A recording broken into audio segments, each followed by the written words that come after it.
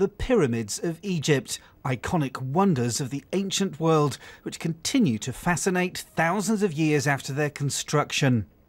Much of this great civilization still lies beneath the desert, but now the science of the space age is being used to cut through the sands.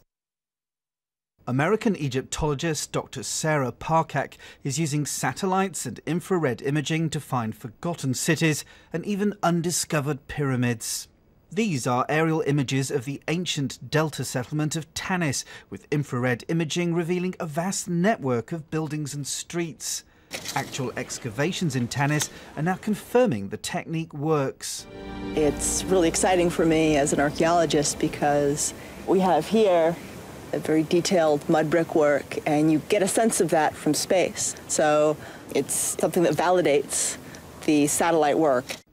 Imaging from space is also pointing to possibly two unknown pyramids at the important burial site of Saqqara. The Egyptian authorities have now ordered test excavations to find out what really lies beneath. Of course, much digging will need to be done to confirm the presence of all that has been detected from space, but excavations so far suggest this 21st century tool is shining new light on the ancient world. Neil Bowdler, BBC News.